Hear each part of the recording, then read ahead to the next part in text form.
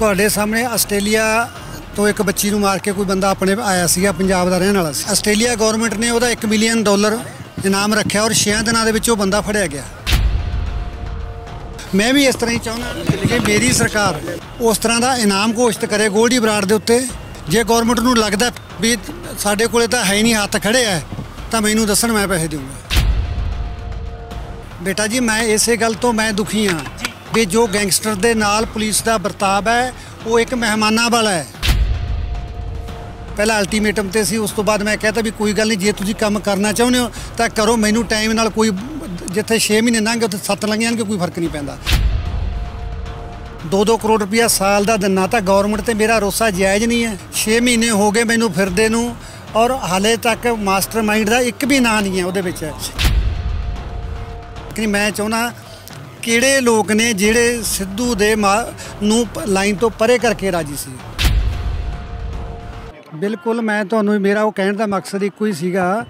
ਤੁਹਾਡੇ ਸਾਹਮਣੇ ਆਸਟ੍ਰੇਲੀਆ ਤੋਂ ਇੱਕ ਬੱਚੀ ਨੂੰ ਮਾਰ ਕੇ ਕੋਈ ਬੰਦਾ ਆਪਣੇ ਆਇਆ ਸੀਗਾ, ਪੰਜਾਬ ਦਾ ਰਹਿਣ ਵਾਲਾ ਸੀ। ਆਸਟ੍ਰੇਲੀਆ ਗਵਰਨਮੈਂਟ ਨੇ ਉਹਦਾ 1 ਮਿਲੀਅਨ ਡਾਲਰ ਇਨਾਮ ਰੱਖਿਆ ਔਰ 6 ਦਿਨਾਂ ਦੇ ਵਿੱਚ ਉਹ ਬੰਦਾ ਫੜਿਆ ਗਿਆ। ਮੈਂ ਵੀ ਇਸ ਤਰ੍ਹਾਂ ਹੀ ਚਾਹੁੰਦਾ ਕਿ ਮੇਰੀ ਸਰਕਾਰ ਸੈਂਟਰ ਗਵਰਨਮੈਂਟ ਖਾਸ ਕਰਕੇ ਉਸ ਤਰ੍ਹਾਂ ਦਾ ਇਨਾਮ ਘੋਸ਼ਿਤ ਕਰੇ ਗੋਲਡੀ ਬਰਾੜ ਦੇ ਉੱਤੇ ਔਰ ਮੈਂ 2 ਕਰੋੜ ਰੁਪਈਆ ਟੈਕਸ ਦਿੰਦਾ ਸਾਲ ਦਾ। ਜੇ ਗਵਰਨਮੈਂਟ ਨੂੰ ਲੱਗਦਾ ਫਿਰ ਵੀ ਵੀ ਸਾਡੇ ਕੋਲੇ ਤਾਂ ਹੈ ਨਹੀਂ ਹੱਥ ਖੜੇ ਆ ਤਾਂ ਮੈਨੂੰ ਦੱਸਣ ਮੈਂ ਪੈਸੇ ਦੇਵਾਂਗਾ ਪਰ ਮੈਂ ਚਾਹੁੰਦਾ ਵੀ ਗਵਰਨਮੈਂਟ ਰਿਵਾਰਡ ਹੈ ਜਿਹੜਾ ਅਨਾਉਂਸ ਕਰੇ। ਤਾਂ ਜੋ ਜੋ ਅਸਲੀ ਕਾਤਲ ਹੈ ਮੇਰੇ ਪੁੱਤ ਦਾ ਮੇਰਾ ਨਹੀਂ ਬਲਕਿ ਪਤਾ ਨਹੀਂ ਕਿੰਨੀਆਂ ਮਾਵਾਂ ਦੇ ਉਹਨੇ ਜਿਹੜੇ ਪੁੱਤ ਮਾਰਤੇ ਤੋਂ ਪਹਿਲਾਂ। ਸਰਕਾਰ ਆਪਣਾ ਫਰਜ਼ ਪੂਰਾ ਨਹੀਂ ਕਰਨ ਦੀ। ਦੇਖੋ ਮੈਂ ਮੈਂ ਇਹ ਮੈਂ ਇਹ ਅਪੀਲ ਅੱਜ ਕੀਤੀ ਹੈ ਇਹ ਆਉਣ ਵਾਲੇ ਦਿਨੇ ਤੁਹਾਨੂੰ ਪਤਾ ਲੱਗਣਾ 10-15 ਦਿਨ ਚ ਵੀ ਸਰਕਾਰ ਸਮਝ ਰਹੀ ਹੈ ਕਿ ਨਹੀਂ ਸਮਝ ਰਹੀ ਹੈ ਮੇਰੀ ਗੱਲ? ਕਤਲ ਦਾ ਕਾਰਨ ਕਿਉਂ ਨਹੀਂ ਪੁਲਿਸ ਦੱਸ ਰਹੀ? 6 ਮਹੀਨੇ ਹੋ ਗਏ ਨੇ 4 ਮਹੀਨੇ ਲਾਰੈਂਸ ਨੂੰ ਇੱਥੇ ਰੱਖ ਛੱਡਿਆ ਹੈ ਰਿਮਾਂਡ ਲੈ ਛੱਡਿਆ ਹੈ। ਕਾਰਨ ਕਿਉਂ ਨਹੀਂ ਦੱਸ ਰਹੇ? ਕਿਉਂ ਕੀਤਾ? ਕਿਉਂਕਿ ਉਹਨਾਂ ਨੇ ਕੁਝ ਨਾ ਕੁਝ ਕਬੂਲਿਆ ਹੋਏਗਾ। ਬੇਟਾ ਜੀ ਮੈਂ ਇਸੇ ਗੱਲ ਤੋਂ ਮੈਂ ਦੁਖੀ ਹਾਂ ਵੀ ਜੋ ਗੈਂਗਸਟਰ ਦੇ ਨਾਲ ਪੁਲਿਸ ਦਾ ਵਰਤਾਵ ਹੈ ਉਹ ਇੱਕ ਮਹਿਮਾਨਾਂ ਵਾਲਾ ਹੈ। ਉਹ ਉਹਨਾਂ ਤੋਂ ਲਾਰੈਂਸ ਦਾ ਕਿਉਂ ਨਹੀਂ ਨਾਰਕੋਟਿਕ ਟੈਸਟ ਕੀਤਾ ਜਾਂਦਾ? ਸਾਰੇ ਚਿਹਰੇ ਨੰਗੇ ਹੋਣ, ਕਿਹੜੇ ਪੋਲੀਟੀਕਲ ਲੀਡਰ ਉਹਨੂੰ ਸਪੋਰਟ ਕਰਦੇ ਆ? ਕਿਹੜੇ ਸਾਡੇ ਭੱਦਰ ਪੁਰਸ਼ ਜੋ ਸਪੈਦਪੋਸ਼ ਹੋਮਲੈਂਡ 'ਚ ਰਹਿੰਦੇ ਨੇ, ਜਾਂ ਉਹ ਨੇੜੇ ਤੇੜੇ ਉਹਨਾਂ ਦਾ ਦੋਸਤੀਆਂ ਪਾਈਆਂ ਹੋਈਆਂ, ਉਹਨਾਂ ਦਾ ਕੀ ਕੀ ਕਾਰੋਬਾਰ ਹੈ? ਤੁਸੀਂ ਨਾਰਕੋ ਟੈਸਟ ਕਰੋ ਜੱਗੂ ਦਾ ਕਰੋ ਔਰ ਲਾਰੈਂਸ ਦਾ ਕਰੋ। ਬਾਕੀ ਕੇਸਾਂ ਦੇ ਵਿੱਚ ਕੀ ਸੈਂਟਰ ਗਵਰਨਮੈਂਟ ਨੇ ਨਹੀਂ ਕੀਤੇ? ਹੋਣਾ ਚਾਹੀਦਾ ਜੇ ਪਾਰਦਰਸ਼ਤਾ ਦੇ ਨਾਲ ਸਰਕਾਰ ਸਾਰੀ ਗੱਲ ਨੂੰ ਕਲੀਅਰ ਕਰਨਾ ਚਾਹੁੰਦੀ ਹੈ ਸਾਡੇ ਵਰਗੇ ਗਰੀਬਾਂ ਦੇ ਘਰ ਪੱਟਣ ਤੋਂ ਰੋਕਣਾ ਚਾਹੁੰਦੀ ਹੈ ਤਾਂ ਅਸੀਂ ਉਮੀਦ ਕਰਦੇ ਹਾਂ ਸਰਕਾਰ ਕੋਲੇ ਸਪਸ਼ਟ ਬਹੁਮਤ ਹੈ। ਸਰਕਾਰ ਦੀ ਮਨਸ਼ਾ ਕੀ ਲੱਗ ਰਹੀ ਹੈ? ਸਰਕਾਰ ਦੀ ਮਨਸ਼ਾ ਕੀ ਲੱਗ ਰਹੀ ਹੈ? ਸਰਕਾਰ ਕਿਉਂ ਖੁੱਲ ਕੇ ਸਾਥ ਕਿਉਂ ਨਹੀਂ ਦੇ ਰਹੀ ਤੁਹਾਡਾ? ਦੇਖੋ ਮਨਸ਼ਾ ਗੱਲ ਇਹ ਹੈ ਵੀਰ ਜੀ ਜਿਹੜੇ ਬੰਦੇ ਦੋਸ਼ੀ ਸੀਗੇ ਫਿਜ਼ੀਕਲ ਅਸਾਲਟ ਵਾਲੇ। ਉਹਨਾਂ ਨੂੰ ਲਗਭਗ ਜਿਨ੍ਹਾਂ ਨੇ ਫਾਇਰ ਕੀਤੇ ਜਾਂ ਜਿਨ੍ਹਾਂ ਨੇ ਠਾਰਾਂ ਦਿੱਤੀਆਂ, ਉਹ ਬੰਦੇ ਫੜੇ ਜਾ ਚੁੱਕੇ ਆ। ਮੇਰੀ ਜਿਹੜੀ ਮੈਂ ਕੀ ਚਾਹੁੰਦਾ ਮੈਂ ਚਾਹੁੰਦਾ ਵੀ ਜਿਹੜੇ ਮਾਸਟਰਮਾਈਂਡ ਨੇ, ਸਿੱਧੂ ਕਿੰਨਾਂ ਦੀਆਂ ਅੱਖਾਂ ਦੇ ਵਿੱਚ ਰੜਕਦਾ ਸੀ? ਸਿੱਧੂ ਨੂੰ ਇੰਡਸਟਰੀ ਚੋਂ ਪਾਸੇ ਕੌਣ ਕਰਨਾ ਚਾਹੁੰਦਾ ਸੀ? ਉਹਨਾਂ ਲੋਕਾਂ ਵੱਲ ਵੀ ਜਾਇਆ ਜਾਵੇ। ਉਹ ਨੁਕਤੇ ਮੈਂ ਹੁਣ ਦਿੱਤੇ ਨੇ। ਪੁਲਿਸ ਦੀਆਂ ਰੱਦੋ ਬਦਲ ਹੋਈਆਂ ਨੇ। ਸਾਰੇ ਐਸਐਸਪੀ ਅਫਸਰ ਸਾਹਿਬ ਨਵੇਂ ਆਏ ਨੇ।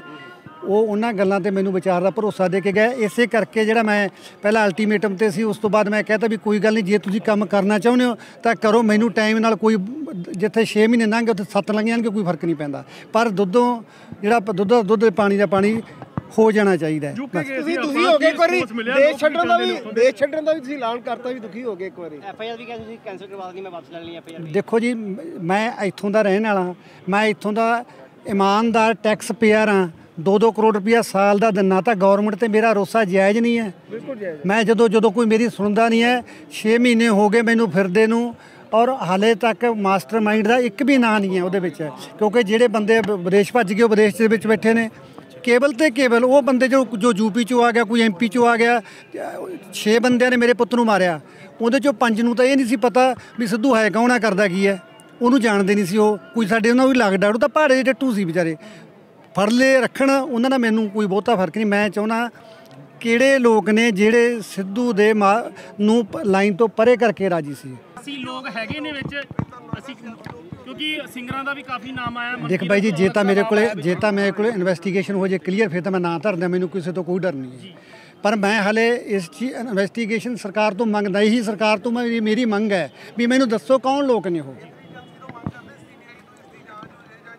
ਕਿਉਂਕਿ ਐਨਆਈ ਦੇ ਲਾਰੈਂਸ ਦੇਖੋ ਜੀ ਭਾਜੀ ਸਰਕਾਰ ਦਾ ਬੇਟਾ ਕੰਮ ਹੈ ਉਹ ਕਿਸੇ ਜਿੱਦੋਂ ਮਰਜ਼ੀ ਕਰਵਾਉਣ। ਮੈਂ ਤਾਂ ਪੰਜਾਬ ਪੁਲਿਸ ਤੇ ਹੀ ਭਰੋਸਾ ਕਰਦਾ। ਡਿਮਾਂਡ ਹੈ ਸਰ ਕੋਈ? ਸੀਬੀਆਈ ਤੋਂ ਜਾਂ ਐਨਆਈਏ ਤੋਂ ਜਾਂਚ ਕਰਵਾਉਣ ਦੀ? ਬਿਲਕੁਲ ਹੈਗੀ ਹੈ। ਸਰ ਮੀਡੀਆ ਦੇ ਮਾਧਿਅਮ ਨਾਲ ਕੋਈ ਅ, ਤੁਸੀਂ ਡਿਮਾਂਡ ਕਰਨਾ ਚਾਹੁੰਦੇ ਹੋ? ਦੇਖੋ ਮੀਡੀਆ ਦੇ ਮੈਂ ਧੰਨਵਾਦ ਕਰਦਾ ਇਹਨਾਂ ਨੇ ਮੇਰਾ ਉਦੋਂ ਤੋਂ ਇਸ ਮੇਰੇ ਕੇਸ ਨੂੰ ਬਹੁਤ ਹਾਈਲਾਈਟ ਕੀਤਾ ਮੈਂ ਇਸੇ ਕਰਕੇ ਤੁਹਾਨੂੰ ਸਭ ਤੋਂ ਪਹਿਲਾਂ ਇਸ ਗੱਲ ਲਈ ਵੀ ਜੋ ਆਪਾਂ ਧੱਕਾ ਮੁੱਕੀ ਹੋ ਜਾਂਦੇ ਆ ਆਪੇ ਤੋਂ ਬਾਹਰ ਹੋ ਜਾਂਦੇ ਇਹਨਾਂ ਕਈ ਵਾਰੀ ਸਾਡਾ ਅਕਸਰ ਹੀ ਦਰਬਾਰ ਸਾਹਿਬ ਆ ਕੇ ਵਿਵਾਦ ਹੋ ਜਾਂਦਾ। ਸਿੱਧੂ ਹੁੰਦੇ ਵੀ ਇਹੀ ਹਾਲ ਸੀ, ਹੁਣ ਵੀ ਸੀ। ਮੈਂ ਨਹੀਂ ਚਾਹੁੰਦਾ ਵੀ ਆਪਾਂ ਆਪਾਂ ਹੀ ਟਕਰਾਈ ਜਾਈਏ ਆਪਸ ਦੇ ਵਿੱਚ। ਆਪਾਂ ਜਿਹੜੀ ਅਸਲ ਆਪਣੀ ਸਮੱਸਿਆ ਆਪਾਂ ਉਹਦੇ ਉੱਤੇ ਆਈਏ। Thank you thank you